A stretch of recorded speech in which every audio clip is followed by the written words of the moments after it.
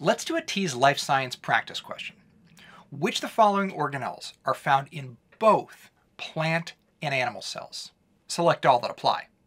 Is it A, cell membrane, B, cell wall, C, chloroplasts, D, mitochondria, or E, endoplasmic reticulum?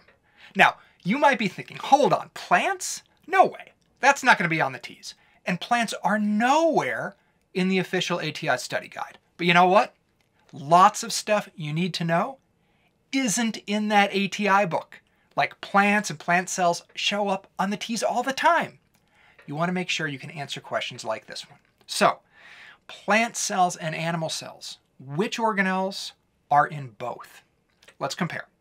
Basically, Plant cells have everything that animal cells have. Nucleus, mitochondria, cell membrane, endoplasmic reticulum, stuff like that.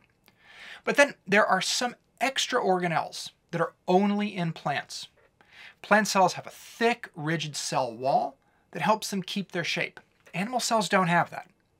And plant cells also have chloroplasts that they use to capture sunlight and make their own food. Animal cells don't have those either. So, which do we see in both plant and animal cells? Cell membrane. Yep, they both have it. Cell wall? No, that's only in plants. Chloroplast? Only in plants.